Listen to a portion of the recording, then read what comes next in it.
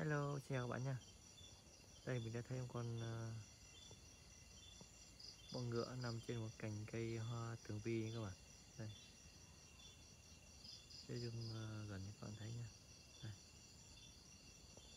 Do nằm ngược bên dưới cho nên là video mình nó có vẻ là nó không được thuận mắt nha các bạn.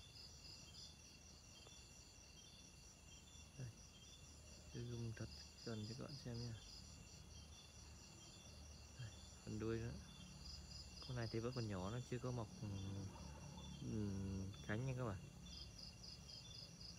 Đây để xem nhỏ cỡ nào các bạn. Wow đó nhỏ cỡ này mà.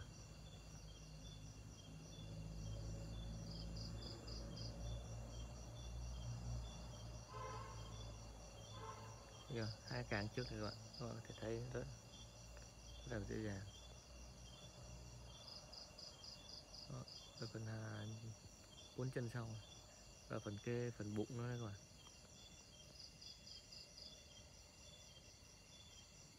Thôi bye bye các bạn nha.